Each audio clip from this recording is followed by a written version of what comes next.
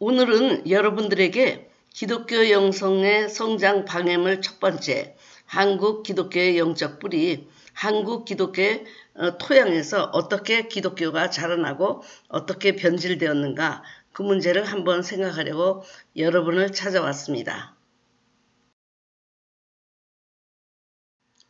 이 동영상은 메누아 기절학교 첫날 강의 일부입니다. 어, 여러분이 이 동영상을 보는 시간은 어, 16일 오후 1시 어, 제 강의 시간과 똑같이 이 동영상에 올라가도록 준비했습니다. 계절학교는 세 번에 나누어 영적 성장을 방해하는 요소에 대해서 공부합니다.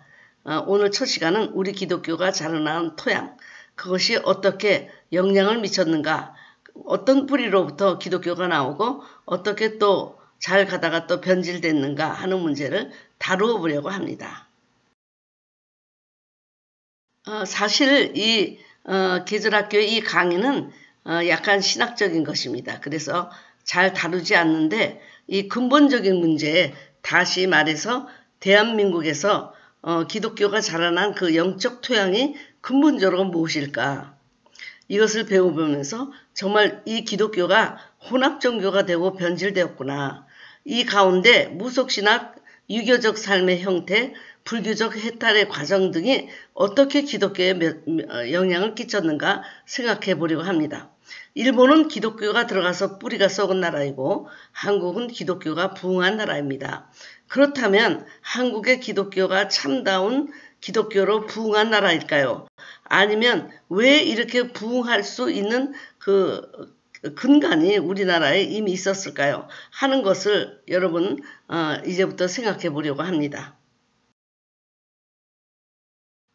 어디서든지 영성이 자랄 수 있는 토양이 어, 근본적으로 문제가 됩니다.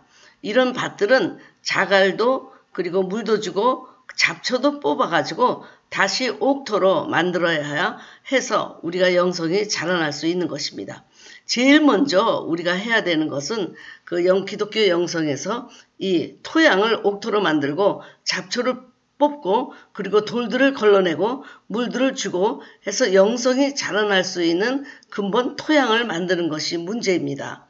그러니까 우리나라는 어 뭐 자갈밭, 메마름 땅, 잡초밭 이렇게 제가 갈라놨는데 이것이 뭐 무교, 유교, 불교라고 정확하게 이렇게 맞는 매치는 아니고 제가 한번 해봤습니다. 자갈밭, 또 무교 같은 그런 밭이고요. 메마른 땅, 유교 같은 어, 밭이고요. 잡초밭, 불교 같은 이런 토양이 우리에게 이미 있었기 때문에 거기에서 어떻게 과연 기독교가 뿌리를 내리고 살았는가 한번 생각해 보겠습니다. 한번 우리나라 기독교가 어디에서 자라났는가 한번 보겠습니다. 무교. 가 제일 많고요. 그 다음에 유교가 들어왔고 그리고 불교가 들어왔고 거기에 기독교가 들어왔습니다. 그렇기 때문에 기독교는 기독교만의 참다운 어떤 그 어, 종교가 아니라 무교 위에서 유교 위에서 불교에서 영향을 받으면서 혼합주의로 어, 가게 됐던 것이 우리나라의 기독교입니다. 그러니까 제일 넓은 지역, 제일 오랫동안 민간 신앙을 이끌어왔던 무교가 아주 땅바닥에 어, 잡초처럼 나 있는 것입니다. 거기에 유교, 유교가 그리고 불교가 그래서 이 땅이 잡초와 자갈로 하나 가득 어, 있기 때문에 그것을 갈아서 경작하기 전에는 기독교가 잘 자랄 수가 없고 우리의 영성이 자랄 수가 없습니다. 여러분 삶 속에도 무교가 들어가 있고 유교적 삶의 형식이 들어가 있고 불교적인 그 신앙의 그 어프로치 방법이 들어가 있고 그러면서 이것이 종합적으로 해서 기독교가 거기 심어지게 되었습니다. 여러분이 어, 이 기독교가 정말 참 기독교일까? 라고 한번 생각해 본다면 우리는 솔직하게 말해서 이것은 혼합 종교라고 볼 수 있습니다. 우리나라의 종교 중에 민, 민간 신앙 중에 가장 큰 것이 바로 무교입니다.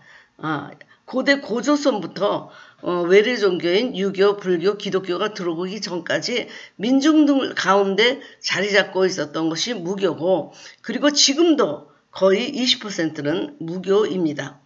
이것은 인간이 불안하거나 두렵고, 두려울 때 찾아갈 수 없었던 그 샤만, 그 샤만을 중심으로 어, 이루어지는 그 어, 종교입니다. 북아시아의 전통 종교 사마, 샤머니즘과 연결되어 있기도 하는데 샤만은 중재자 역할을 하기도 하고 예언을 해주고 주술을 해주고 그리고 구슬하면서 또 병을 고쳐주고 하는 모든 종교 행위를 포함합니다. 그러니까 샤만의 예배 의식에 아주 가장 중요한 것이 굿이죠. 재앙과 애군을 막아주는 개인적인 기능과 마을의 통합, 치유와 장래의 예언을 하면서 신의 지시를 어, 인간에게 알리는 중재자, 사제 역할을 하고 있는데 무교에서 가장 많은 일은 병을 치유하는 일입니다. 일본에는 800만 귀신들이 있다고 하는데 무교에도 굉장히 신들이 많습니다. 안방에는 송주라는 신이 있고 부학에는 조왕신 이렇게 우리가 불 떼서 밥을 먹잖아요. 불의 신이 있고 자손 번창을 위해서 비는 칠성신 그리고 들어오는 액을 막아낸다는 문간신 터에는 터신이 있고 그리고 어, 디든지 장독대 귀신 무슨 귀신 해가지고 무교의 신들은 어, 다신론적입니다. 많습니다. 그 신들에게 무병무사를 기도하고 자기 생존에 대한 기도, 장수를 기도합니다. 어, 서민들의 삶의 애환에 대한 위로를 주고 상담을 해주고 병을 치유해주는 샤만이 민속신앙의 뿌리를 차지하고 있는데 이 다신론적이고 범신론적이고 정령신앙적인 무교가 그대로 어, 그러니까 무교 위에 기독교가 들어가게 된 것입니다. 거기에 씨를 뿌리게 된 것입니다. 무교에 복음의 씨가 들어가면서 이제 이것이 변질되게 된 것입니다. 우리나라는 지금까지도 무교가 가장 강력하고 그들이 비록 캐도릭이나 어, 크리스찬이나 아니면 유교나 불교나 모두 그 근간은 무교로 어, 그 근간이 이루어져 있습니다. 기초는 전부 무교입니다. 무교와 어떻게 그 어, 합쳐져서 이상한 종교로 그러니까 불교도 불교는 참 불교가 아니고 어, 유교도 유교답지 않은 그런 것들이 우리나라에서 종교적으로 싹트게 되었습니다. 저는 우리 기독교가 무교적 기독교가 됐다고 생각합니다. 그 중에 가장 큰 것이 기복신앙이에요. 기독교와 무교와의 이 복의 개념은 전혀 다릅니다. 무교는 굉장히 개인적이고 기독교는 공동체적이고 그리고 어, 무교는 어, 역사관이 없지만 기독교는 역사관이 있죠. 또 구속사가 있죠. 그래서 우리가 무슨 일을 할 때 우리는 주님을 찾아가는데 무교적 이 기독교인이 되, 되어서는 점을 치러 가기도 하고 궁합을 보기도 하고 이름을 장명소에서 짓기도 하고 또 어떤 권사님은 무당을 불러 또 굿도 하고 여전히 제사를 드리고 조상신을 섬기는 것 이런 것들은 하나도 달라지지 않으면서 기독교가 그 어, 무교라는 그 토양 안에서 자라나게 됩니다. 그러니까 기독교와 무교는 유일신과 다신론이라는 점은 다를 뿐 그 사람들의 마음속에 있는 신을 향한 마음이라든지 샤만이 상담해 준다든지 샤만이 어, 예언을 해 준다든지 샤만이 그들을 위로해 준다든지 하는 건 똑같아요. 기독교하고. 정말 모든 것이 똑같습니다. 그러나 뭐가 다를까?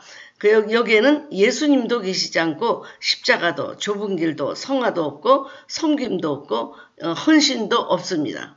바로 이렇게 무교적인 그 기독교가 돼서 우리 토양이 어, 기독교가 성경이 말하는 복이 아니라 기복신앙으로 가게 돼서 어, 어쨌든 물질적 축복을 받으면 어, 내가 신앙이 좋다라는 생각으로 굉장히 주술적인 그런 기독교로 변질되게 됐습니다.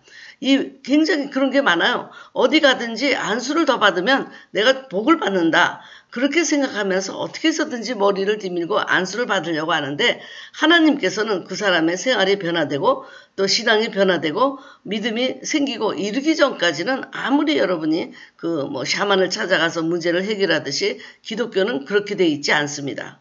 그럼에도 불구하고 우리 기독교 교회라는 것이 어, 무교적 어, 기독교로 됐기 때문에 어, 예언을 한다 그러면 점을 치는 건지 알고 내가 동쪽으로 갈까요? 북쪽으로 갈까요? 서쪽으로 갈까요? 내가 운동화 샵을 여는 게 좋을까요? 아니면 식당을 하는 게 좋을까요? 하면서 그 목사님에게나 어떤 부흥사에게 그 예언을 점치는 식으로 와서 부탁하는 것이 모든 어, 무교적 기독교의 모습입니다.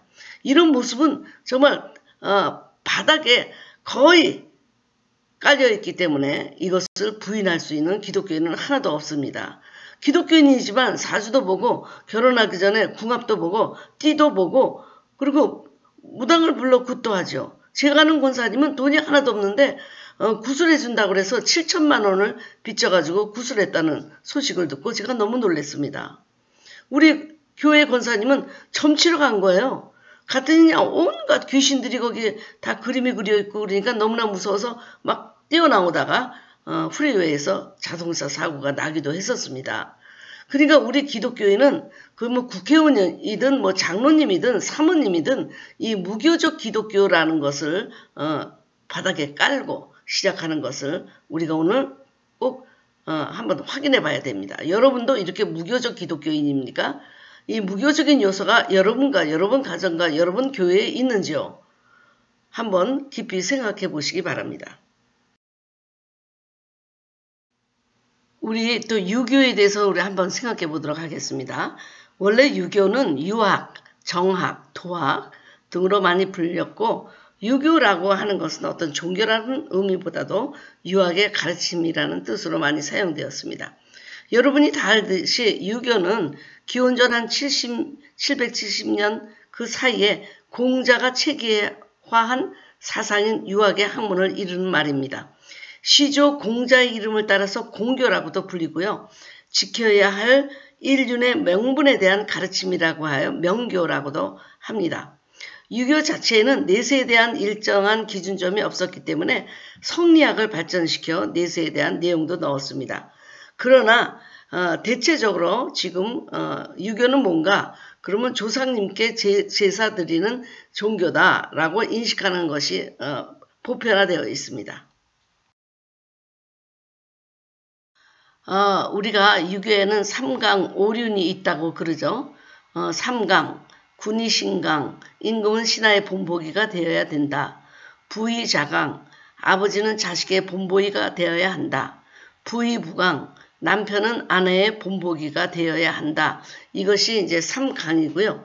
어, 인간의 관계에서의 우리가 행해야 될 도리, 그것을 오륜이라고 하는데 부자 유친, 아버지와 자식 사이에는 친함이 있어야 한다. 군신 유의, 신하는 임금에 대해 의로서 충성을 다해야 한다. 부부 유별, 부부 사이에 구별이 있어야 한다. 장유 유서, 어른과 아이 사이에는 차례와 질서가 있어야 한다. 부모 유신, 친구 사이에 지켜야 할 신의가 있어야 한다. 이렇게 어떤 인간의 그 윤리적인 그 삶의 태도에 대해서 삼강 오륜을 가지고 유교는 우리에게 쉽게 접근해 왔습니다. 그러니까 우리가 우리는 유교를 안 믿어요 라고 생각할지 모르지만 500년 동안 우리나라를 지배하던 유학으로 인해서 모두가 그 습관이 몸에 배어 있습니다. 그러니까 그 본질을 우리가 유교를 따르지 않는다고 하더라도 유교에서 나온 어떤 어떤 삶의 간섭, 간섭 이런 것들은 우리 모든 한국 사람들이 그대로 따르고 있습니다.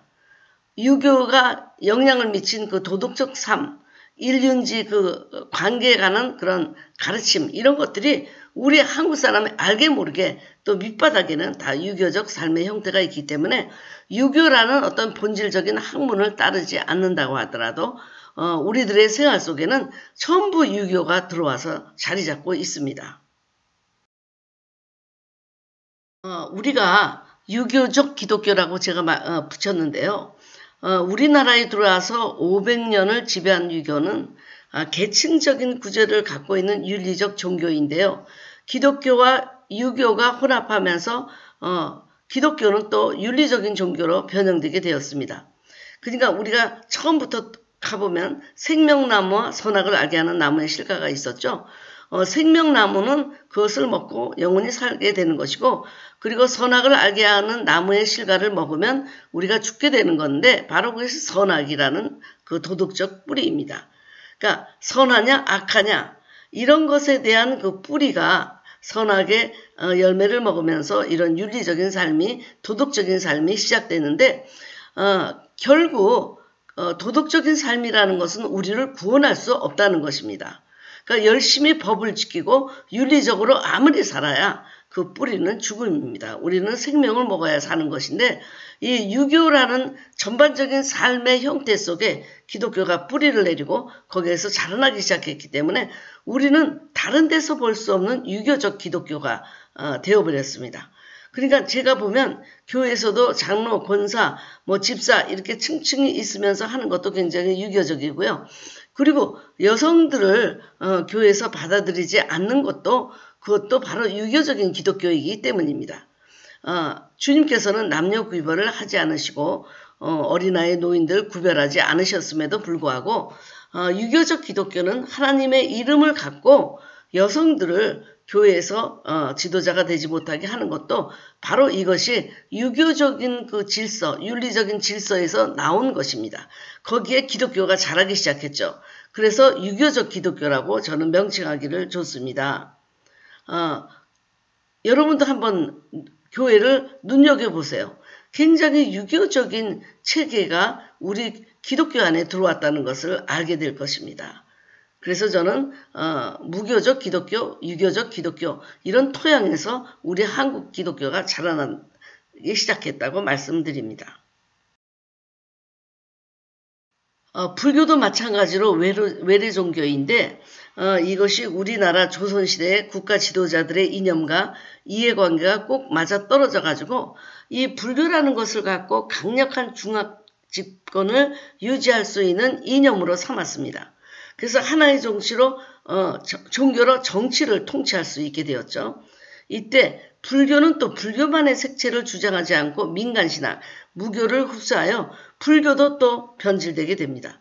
그 전형적인 형태로 남아있는 게 현재 절에 가면 산식각이나 어, 칠성각 등이 있는데 우리 불교에서는 너무나 많은 무교적인 그 요소들을 많이 보게 됩니다. 어, 그래서 유교도 불교도 우리 어, 기독교가 자라나는 그 토양이 되었던 것입니다. 한번 우리가 불교적 기독교를 한번 생각해 보겠습니다. 저는 불교에서 기독교가 받아들인 것이 무엇이냐? 산으로 산으로 산으로 자꾸 들어가는 그러니까 도시와 고립돼서 들어가고 어, 사회와의 어떤 그 어, 섬김의 관계가 없는 것을 많이 배웠고요. 그리고 불교는 자신이 스스로 하나님 되고 해탈이 된다는 것이 아닙니까? 계속 고행을 하면서 어, 해탈을 하면서 자기가 부처가 되는 그래서 뉴 에이지의 그것과 똑같잖아. 내가 스스로 신이 된다. 라고 하는 그런 것이 기독교에도 들어와서 우리는 그 주님의 기름 부음으로 하나님께 가려고 하는 것이 아니라 나를 처리하고 고행하고 금식하고 아주 힘겹게 힘겹게 어, 하나님을 찾아가는 아니면 자기가 하나님이 되어버리는 그런 요소가 불교적 기독교에서 나타나고 있습니다. 여러분, 불교는 너무나 많은 우리나라의 정치와 경제와 그리고 민간을 지배해 왔던 것입니다. 그래서 어, 불교는 이제는 어, 땅 아래로 내려오고 내려오고 내려오고 있는데 우리 기독교는 산으로 산으로 그래서 사회와 고립되고 자기만 잘 살면 된다. 그래서 빛과 소금의 역할을 잃어버린 그 기독교 그것이 바로 불교에서 우리 어, 그 고립돼서 살아있는 산, 절과 같은 그런 기도원을 짓고 전부 자꾸 산으로 산으로 올라가게 되고 산 아래에서 우리가 뭐 선교한다든지 그 이웃 그 이웃에 대해서 무슨 프로그램을 해서 그들을 섬긴다 이런 거 많이 없어졌습니다. 그리고 율법을 지키고 내가 은혜를 받았지만 종의 영성으로 어떻게든지 내가 점점 돌을 닦아서 내가 하나님까지 올라가야 되겠다. 라고 생각하는 이런 잘못된 기독교 어, 안에 들어온 이 불교의 시입니다.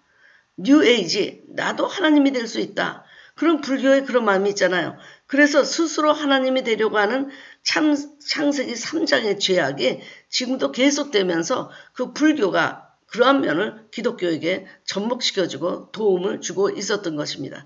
그래서 우리가 믿는 기독교는 무교, 유교, 불교라는 토양에서 자라난 그 어, 본래 기독교하고는 다른 모습으로 나타나게 되었습니다. 그것을 우리는 혼교 혹은 혼합지, 싱크레티즘이라고 얘기합니다. 한국의 기독교가 이런 토양에서 자랐기 때문에 그 잡초들, 그 자갈들 다 뽑아버리지 않으면 어, 순수한 기독교가 자라날 수가 없습니다. 어, 그러니까 우리는 그 무교와 유교와 불교라는 곳에 기독교라는 어떤 형식만 씌웠을 뿐 그 속은 전부 무교와 유교와 불교로 되어 있습니다. 어, 그 이스라엘 민족이 어, 가난 땅에 들어가서 그렇게 혼합주의가 되잖아요. 그래서 인도는 모든 귀신을 다 섬겨요. 인도는. 그래서 예수 그리스도를 받아들이는데 아무 갈등이 없습니다. 어, 이분도 믿고 저분도 믿으면 되는 거예요. 그래서 주님은 유일하신 하나님, 나는 너의 하나님이 되고 싶다. 라고 얘기하는데 우리는 기존에 믿었던 어떤 믿음도 포기하지 않고 또 기독교를 기독교대로 받아들이면서 이것을 혼합해 버렸습니다. 그래서 정말 우리가 어, 이것이 기독교의 모습일까?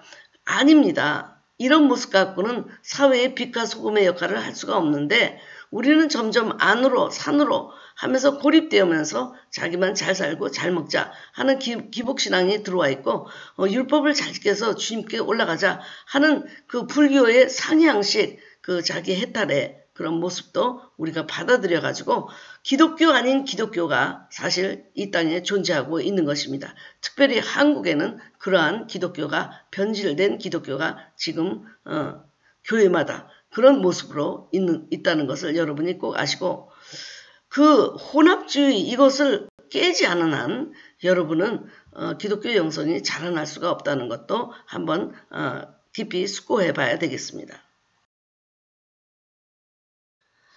가나안 땅에 들어간 이스라엘이 가나안 땅에 풍요의 귀신 바알과 혼합해 버렸던 것을 우리가 기억하고 있습니다. 바알은 가나안 땅에만 있는 것이 아니고 모든 땅을 지배하고 어, 이 나를 섬기면 풍요를 준다. 이런 그 땅에 귀신 바알에 있습니다. 어, 이사야 10장 10절에 이스라엘 자손이 여호와께 부르짖어 이르되 우리가 우리 하나님을 버리고 바알들을 섬김으로 주께 범죄하였나이다 하니 그래서 이 땅에서 풍요를 준다, 어, 불을 준다, 어떤 그런 기복신앙, 바알이 그런 기복신앙으로 우리 이 땅을 지배하고 있으며 그리고 그 하나님, 하늘을 바라보는 하나님을 땅을 바라보도록 이렇게 만들어서 이상한 혼합적인 종교를 만들고 있는 것이 바로 바알의 영입니다. 바알. 바알은 우리나라에도 많이 있고요. 북한은 특히 바알이 많이 지배하고 있습니다. 하나님은 이렇게 어, 여호와를 버리고 그리고 다른 종교와 혼합되고 이런 것들을 배교자라고 말씀하시고 그들을 칼에 붙일 것이라고 말씀해 주셨습니다. 그러니까 주님을 믿다가 우상 숭배하러 가는 자들도 배교자고요. 주님을 믿으면서 혼합적으로 믿는 것도 배교자입니다. 그런데 주님이 이사야 65장 11절 12절에 어, 오직 나 여호와를 버리며 나의 성산을 잊고 갓에게 상을 베풀며 므니에게 섞은 술을 가득히 붓는 너희여 내가 너희를 칼에 붙일 것인즉 이렇게 말씀하셨습니다. 그러니까 갓 제가 얘기했죠. spirit of fortune 그리고 므니 어, spirit of destiny 이런 우상을 섬기는 배교자들은 주님께서 칼에 붙인다고 말씀해 주셨습니다. 그럼 과연 나는 하나님의 다스림을 받고 내가 믿고 있는 하나님 그리고 이 교회의 신앙 이것들이 변질된 것이 아닌가 여러분 한번 생각해 보시기 바랍니다. 계시록 3장 15절 16절에 내가 내 행위를 아노니 내가 차지도 아니하고 뜨겁지도 아니하다 하도다 내가 차든지 뜨겁지 하기를 원하노라 내가 이같이 미지근하여 뜨겁지도 아니하고 차지도 아니하니 내 입에서 너를 토하여 버리리라.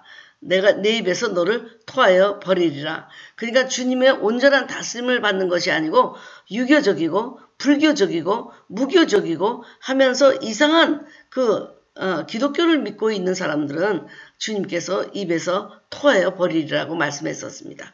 믿든지 안 믿든지 중간은 없습니다. 주님이 가장 싫어하는 것은 혼교, 혼합주의입니다. 하나님이 뱉어버리실 것입니다. 이것도 저것도 다 가지려고 하는 그런 마음이기 때문에 주님은 어, 나만을 섬기라고 하셨는데 나의 다스림을 받으라고 하셨는데 어, 마치 박제처럼 이것도 갖고 저것도 갖고 이것도 버릴 수 없고 저것도 버릴 수 없고 그러나 주님의 은혜는 또 받아야 되고 그러니까 무교와 유교와 불교 위에 하나님의 은혜는 그대로 내리고 축복은 내려주기를 바라는 어리석은 우리 모습을 다시 보게 됩니다. 예레미야 31장 31절부터 33절에 아주 중요한 말이 나옵니다. 보라, 날이 이르니, 이르리니 내가 이스라엘 집과 유다 집에 새 언약을 맺으리라. 이 언약은 내가 그들의 조상들의 손을 잡고 애굽 땅에서 인도하여 내던 날에 맺은 것과 같이 아니할 것은 내가 그들의 남편이 되었어도 그들이 내 언약을 깨뜨렸습니다. 그러나 내, 그날 후에 내가 이스라엘 집과 맺은 언약은 이러하니 곧 내가 나의 법을 그들의 속에 두며 그들의 마음에 기록하여 나는 그들의 하나님이 되고 그들은 나의 백성이 될 것이다. 언약으로 돌아오면 어, 내가 그들의 하나님이 되고 그들은 내 백성이 된다고 말씀하셨습니다.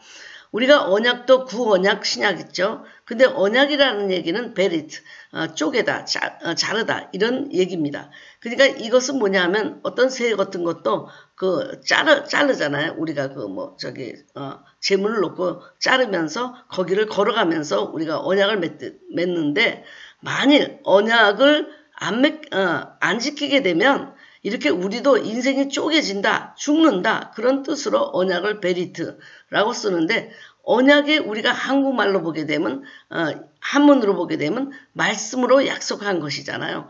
그러니까 예수님의 말씀으로 약속을 맺는 것이고 만일 하나님은 약속을 지켰는데 인간은 약속을 지키지 못했을 땐 예수님이 대속물로 이 언약을 어, 지키기 위해서 희생된다는 그런 언약입니다. 그러니까 언약은 예수님으로 약속한 거예요. 하나님이 우리를 뭘 보고 약속하겠습니까? 내가 우리 아들과 뭘 보고 내가 천만 원을 빌려주겠습니까? 그 안에 무슨 중간적인 어, 무슨 그 그걸 뭐라 그러죠? 우리가 그 어, 보장하는 그런 어, 집이 있다든지 보증이 있어야 되지 않겠습니까?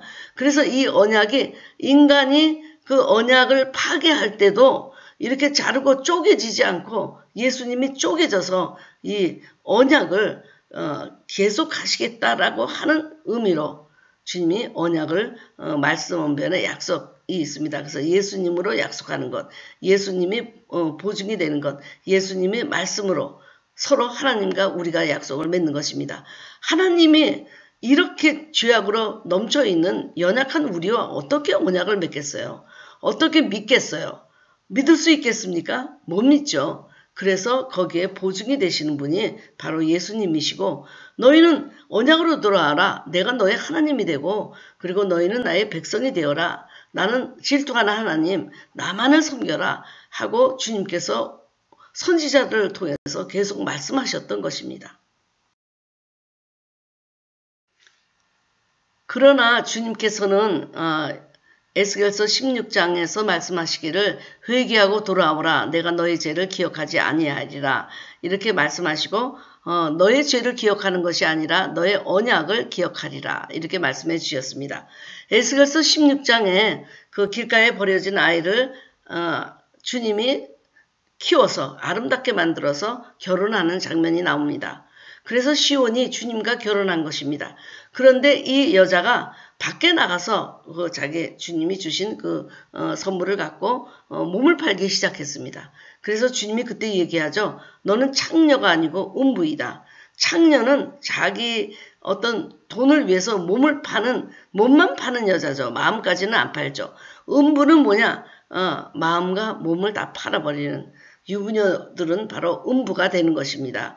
그런 음부인 이스라엘을 주님께서 회개하고 돌아오라. 내가 너의 죄는 기억하지 아니하고 너와 소시적에 맺은 그 언약을 기억하리라 하면서 창녀가 아니고 음부로 여기저기 몸을 팔고 다니는 그들에게 어서 돌아와라. 나에게 돌아와라. 그렇게 말씀하시고 계시는 것입니다. 또 그보다 도 복음이 있습니다. 내가 너희를 새 일을 행하리라. 내가 너희, 너희를 위해서 새 일을 행하리라. 너희는 이전 일을 기억하지 말며 옛날 일을 생각하지 말라. 보라 내가 새 일을 행하리니 이제 나타날 것이라. 너희가 그것을 알지 못하겠느냐? 반드시 내가 광야의 길을 사막에 강을 내리니 이사야 43장 18절부터 19절. 이 새 일은요. 불가능한 일을 하게 하시는 하늘의 일입니다. 광야에 길을 낸다는 거 쉽지 않죠. 모래가 어, 바람이 불면서 모래가 이리저리 해서 길이 났다가도 없어지고 사막에 강이 난다니까 이것이 가능합니까? 이런 그 어, 척박한 땅에 강을 내신다는 것입니다. 여러분 우리 주님이 회개하고 옛 일을 기억하지 않고 주님 앞에 나오면 이렇게 돌짝밭도 또, 또 옥토로 그리고 자갈밭도 옥토로 그리고 잡초밭도 옥토로 이런 기적적인 일을 주님이 행하신다는 것입니다. 내가 광야의 길을 사막에 강을 내리니 사막에 강을 내리니 어떻게 사막에 어, 사막에 강이 내겠습니까? 여러분, 여러분의 사막 같은 인생에 주님이 강을 내어 주신다는 것입니다. 갈 길을 모르는 광야에 주님이 길이 되어 주신다고 하는 것입니다. 이것이 바로 어, 하나님의 하나님이 되시기 위해서 회개하고 돌아오는 자들에게 새 일을 행하신다는 약속입니다. 그래서 우리가 비록 그전에는 이렇게 뭐 무교적이고 유교적이고 불교적인 기독교의 생활을 했다고 하더라도 이제 다시 그것을 버리고 주님 앞에 와서 새 일을 행하시는 주님을 바라봐야 될 것입니다. 이것이 얼마나 우리에게 소망이 되는 말씀인지 모릅니다. 여러분에게도 종교 혼합주의가 나타나고 있습니까? 그러면 여러분의 영성은 절대로 자라날 수 없습니다. 그 토양을 바꾸지 않으면 뿌리는 무교고요. 기둥은 유교와 불교, 잎사귀는 기독교. 그래서 열매는 무교, 유교, 불교의 혼합 열매가 맺혀서 이 기독교에서 나오는 참다운 열매가 생명의 열매가 아니고 어, 주술적이고 무슨 도덕적이고 그리고 자기 해탈적인 그런 혼합 열매가 맺히게 됩니다. 뉴 에이지 같은 그런 열매가 맺게 되는 것이죠. 이것은 참 기독교가 아닙니다. 그래서 지금 여러분들 우리 뿌리가 어떤지 한번 생각해 보셨습니까? 내가 지금 기독교가 자라고 있는 이 토양이 어떤지 기억하셨습니까? 배우셨습니까? 만일 여러분들이 이 토양에 여전히 무교, 유교, 불교라는 잡초가 이렇게 자라나고 있고 돌들이 있고 어, 자갈이 있다고 한다면 그것을 여러분이 어, 성령의 생명의 법으로 다 어, 걸러내고 그 주님이 주시는 옥토라는 토양 위에서 다시 기독교를 어, 하나님을 믿는 신앙을 세워져 가야 될 것입니다. 여러분과 여러분 가정에 이런 혼합주의가 있습니까? 이것이 사라질 때 진정하게 하나님과의 친밀함이 생기고 믿음이 자라나고 그 믿음을 어, 우리 삶 속에서 엔조이하고 누리며 천국을 누리며 친밀하게 주님 앞에 나아갈 수 있지만 이 땅 문제가 해결되지 않으면 여러분은 결코 믿음이 자라날 수가 없습니다. 제가 한국 기독교의 혼교 싱크레티즘을 그림으로 그려보았습니다. 뿌리는 무교입니다. 뿌리는 무교고 그리고 유교와 불교가 기둥을 잡고 무성한 잎사귀는 기독교예요. 지금 유교와 불교, 무교는 사라진 것 같고 기독교가 지금 무성하게 잎사귀를 가졌죠. 그러나 열매가 없어요. 유교라는 열매, 불교라는 열매, 무교의 열매, 기독교의 열매가 다 혼합이 돼가지고 이상한 종교가 생겼던 것입니다. 그러니까 유교라는 데서 윤리적인 종교로 어, 우리가 전락하게 됐습니다. 이것을 지켜야 되고 뭘 해야 되고 열심히 뭐 어, 일해야지만 뭐 이런 유교라는 열매로 맺게 되고 불교라는 열매는 내가 어, 좀 더 가까이 가까이 하나님이 되어가자 이렇게 상향식으로 자기를 올라가며 했다라는 그런 열매. 그리고 무교의 열매는 모든 것이 신이기 때문에 뭐 장독 장독대 신도 있고 터신도 있고 그리고 뭐 성신도 있고 조왕신도 있고 뭐 어디나 다 신이 있는 거예요. 그래서 여러분 기억하시죠? 어머님이 아침에 목욕 재배하고 그리고 어 물을 떠놓고 칠성신에게 기도하잖아요. 우리 아이들을 잘 되게 해달라고.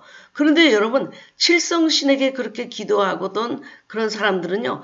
어, 그 아들 아니고 그 손자 때에 가서 반 벙어리가 돼요. 네, 백혈병에 걸린다든지 반벙어리가 된다든지 어떤 그런 장애가 나타나게 되는 것은 칠성신을 섬겼던 그런 사람들입니다. 그래서 기독교의 참 열매가 맺어지기보다는 이렇게 혼합적인 열매를 맺으면서 어, 우리가 지금 신앙생활을 하고 있는데 이것은 절대로 어, 하나님께서 원하시지 않고 성장도 안 되고 그리고 어, 열매도 없는 그런 어, 이상한 어, 변질된 기독교의 삶을 살게 되는 것입니다. 하나님 아버지 오늘 이 배움에 대해서 기도를 합니다. 우리의 어, 신앙의 뿌리가 이렇게 철저하게 혼합이 되었다는 것을 하나님께 용서를 구합니다. 다시 주님의 언약으로 돌아가기를 원하고 참 하나님을 만나기를 원합니다. 하나님 이렇게 어, 혼합된 종교 안에서도 여전히 어, 하나님에게서 하나님으로부터 복은 받겠다고 들어오는 이 기복신앙들 이런 모든 것들이 잘못된 토양에서 자라난 어, 결과라는 것을 오늘 배우게 되었습니다. 하나님 진정한 하나님의 하나님이 우리에게 주는 이 생명의 종교에 우리가 더욱더 가까이 갈 수 있도록 도와주시고 그리고 주님이 주신 생명이 자라날 수 있도록 영적으로 성장할 수 있도록 우리를 인도하여 주시옵소서. 오늘 우리가 점을 치러 갔다든지 구슬을 했다든지 우리가 이렇게 기복적으로 행했던 모든 것을 오늘 무교를 쫓아갔던 모든 것을 회개합니다. 그리고 도덕적으로 살려고 했던 것 회개합니다. 그리고 또 자기가 스스로 해탈해서 스스로 하나님까지 되려고 했던 이 어, 교만을 주님 용서해 주시고 참 하나님의 말씀 가운데 우리가 다시 이 토양을 옥토로 바꾸는 작업부터 하면서 진정한 하나님의 사랑의 이 생명의 종교가 우리 안에 세워질 수 있도록 도와주시옵소서. 우리 안에 어, 예수님이 기초가 되고 예수님이 기둥이 되고 예수님이 지붕이 되고 예수님이 우리의 열매가 되는 그런 삶이 일어나도록 우리를 인도해 주시옵소서. 주 예수 그리스도의 이름으로 기도드립니다. 아멘. 앞으로는 저의 동영상 마지막 부분을 어, 저의 남편 목사님이신 이용택 목사님 칼럼으로 넣어드리도록 하겠습니다. 이용택 목사님은 감리교 신학대학교를 나오시고 홀로 신학대학원을 졸업하시고 미연합감리교의 목사님이십니다. 짧게 짧게 어, 여러분들에게 그 자문을 어, 소개해 드리겠습니다. 저는 솔로몬 스승님이 이전에도 지금도 앞으로도 이런 제자는 없을 것이라고 극찬했던 걸어다니는 잠언 이용택입니다. 저는 솔로몬 지혜대학을 나와서 제가 배웠던 잠언을 사랑하며 지금까지 애송하며 삶에 적응하며 살아왔습니다. 정말 제가 솔로몬 지혜대학을 나왔느냐고요? 정말 솔로몬 지혜대학이 있었냐고요? 저의 스승인 솔로몬 교수님, 앞으로는 솔 교수님이라고 부르겠습니다. 우리 솔 교수님은 오래전에 하늘나라에 가시고 솔 교수님이 가르치던 학교도 너무 오래되어 없어졌다는 소식이 있습니다. 졸업생은 단 한 명이었고 논문 제목은 무죄, 제목이 없기에 학위 주회는 안 하는 것이 지혜로울 것 같습니다. 그러나 실제로 저는 솔 교수님에게 가르침을 받고 학위 논문도 통과되었습니다. 그분은 너무 풍성하게 잠언을 가르쳐 주셨습니다. 저는 그분에게서 잠언을 배우면서 언제나 감격하였습니다. 그러나 우리 스승님의 약점은 불륜의 관계로 태어났고 또 본인 역시 너무나 많은 여자를 거느렸다는 데 있습니다. 아마 그렇게 여자들을 많이 거느려야 지혜가 나, 나오는가 봅니다. 앞으로 설 교수님의 지혜를 여러분과 나누려고 합니다. 많이 사랑해 주십시오. 여러분이 동영상을 보는 이 시간 16일 계절학교가 시작되었습니다. 여러분 어, 안내문을 잘 보고 오시고요. 그리고 카페에 들어가면 여, 어, 여러 가지 그 어, 알려주는 정보가 있습니다. 여러분들 어, 16일, 23일, 30일 월요일마다 세 번 모이는 계절학교를 기억해 주시고 기쁜 얼굴로 다시 만나기를 바랍니다. 계절학교도 양수리 모임도 등록을 어, 못해서 그 기회를 놓치신 분들을 위해서 제가 미국 들어가기 전에 어, 이 모임을 한번 갖기로 했습니다. 10월 31일 목요일 12시부터 5시고요. 어, 여러분 TV 어, 어, 구독자들을 초청합니다. 회비는 3만원이고요. 나의 사랑하는 신부여 이렇게 치유하라를 여러분에게 드리겠습니다. 그래서 점심 식사는 여러분이 어, 등록하실 때 내가 먹겠다 안 먹겠다 그것을 표현해 주셔야 됩니다. 그러지 않으면 다 우리가 점심 어, 식사가 준비가 되니까요. 여러분이 점심 식사 12시에 오겠다 아니면 어, 시작할 때 1시에 오겠다 그것을 꼭 말씀해 주시기를 바랍니다. 신청 시일은 10월 1일부터 10월 5일까지 등록하는 분은 모두 받도록 하겠습니다. 그래서 나는 카페에 들어가는 것이 익숙하지 않다 그럴 때 여러분 아는 분들에게 부탁을 하셔도 됩니다. 여러분 윤나목 TV를 시청해 주시고 사랑해 주시고 기도해 주시고 기다려 주셔서 감사합니다. 좋으셨으면 구독, 구독과 좋아요 그리고 알림을 눌러 주시면 감사하겠습니다. 제가 한국에 와서 좀 감기가 걸려가지고 목소리가 좀 좋아, 좋지 않은데도 그래도 여러분 이 비디오를 어, 들어주셔서 정말 감사합니다. 다음에 또 만나도록 하겠습니다.